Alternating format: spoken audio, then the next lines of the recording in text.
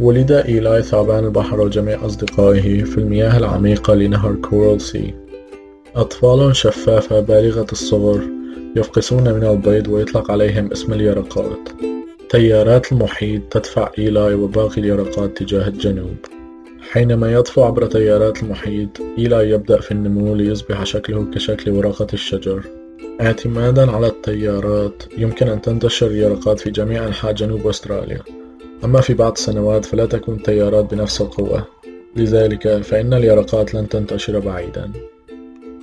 لحسن حظ إيلاي حمله تيار قوي ووصل إلى خليج بورت فيليب. بمجرد وصول إيلاي إلى خليج بورت فيليب يبدأ في تغيير شكله أو التحول وأخيرا يتخذ شكل ثعبان البحر. نظرا لأنه يشبه ثعبان البحر ولكنه لا يزال شفافا يطلق عليه اسم الإنقليس الزجاجي.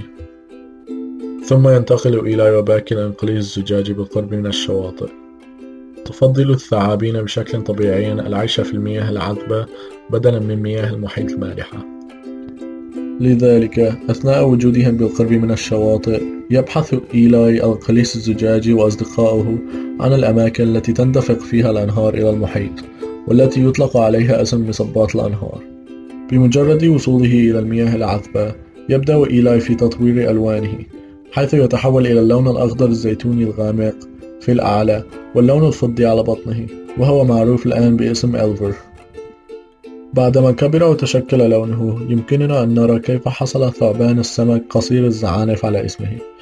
تبدأ الزعنفة الظهرية بالتحول لإيلاي دي ألفر قبل الزعنفة الشرجية مباشرة. الأنواع الأخرى من الثعابين لها زعانف ظهرية أطول بكثير. تفضل الصغار العيش في المياه بطيئة الحركة. بدلا من التيارات السريعة في النهر. لذلك يسبح إلى أعلى النهر للعثور على مكان أفضل للعيش فيه. بحلول الوقت الذي يسبح فيه إيلاي دي ألفر وأصدقائه في اتجاه المنبع يكون فصل الربيع قد حل. منذ آلاف السنين احتفل شعب بونورنج بعودة ثعبان البحر في الربيع حيث كان ينظر إلى وصوله على أنه علامة على الازدهار. عادة ما يضع بونورنج أفخاخا منسوجة طويلة في الأنهار لصيد الثعابين حتى يتمكنوا من أكلها. فكانوا يطبخون بعضهم على النار ويدخنون البعض الآخر للحفاظ على أكلهم بعد موسم ثعبان البحر. نظرا لأن المدن مبنية على قمة الأنهار والجداول القديمة فإن الثعابين تسبح في الأنهار حتى تصل إلى المدن. تتصل مصاريف مياه الأمطار في المدن بالتيارات. لذا تسبح الثعابين داخل تصريف مياه المدينة تحت الشوارع في محاولة لتجاوز المدن.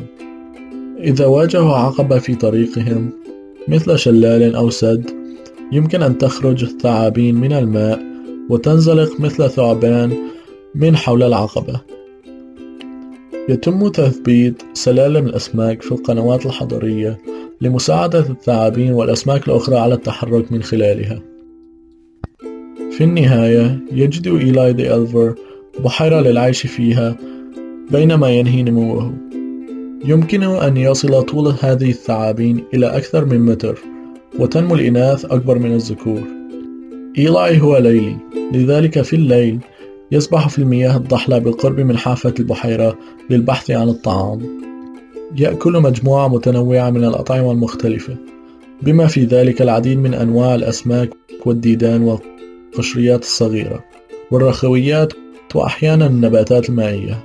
بمجرد أن يكتمل نمو إيلاي ثعبان البحر يبدأ في الاستعداد لرحلة طويلة إلى المحيط لينجب أطفالا يستغرق نمو الذكور مثل إيلاي حوالي 14 عاما بينما تستغرق الإناث حوالي 18 إلى 24 عاما. يبدأ في تناول المزيد من الطعام حتى يتمكن من زيادة الدهون في جسمه باستخدامها كوقود خلال رحلته الطويلة. بعد ذلك يسبح إيلاي مرة أخرى عبر جميع الجداول إلى خليج بورت فيليب ثم إلى المحيط. خلال هذا الوقت بونورنج تبدل مصائدها لكي تتمكن من اصطياد المزيد من الثعابين لتتناولها لكنهم يحرصون من أن البعض لا يزال قادرا على الهروب إلى المحيط لإنجاب الأطفال. إيلاي يسبح ضد التيار الذي جره جنوبا كطفل. ليعود إلى بحر المرجان. أما بالنسبة لبعض الثعابين يمكن أن تزيد هذه الرحلة عن ثلاثة آلاف كيلومتر. بحلول الوقت الذي وصل فيه كان إيلاي قد استخدم كل الدهون التي وضعها قبل رحلته الطويلة ويبدو نحيفا جدا. لقد تعب من الرحلة لدرجة أنه بعد فترة وجيزة من إنجاب الأطفال وتحقيق هدف حياته يموت إيلاي من الإرهاق. ثم تبدأ الدورة من جديد مع أطفال إيلاي حديثي الولادة.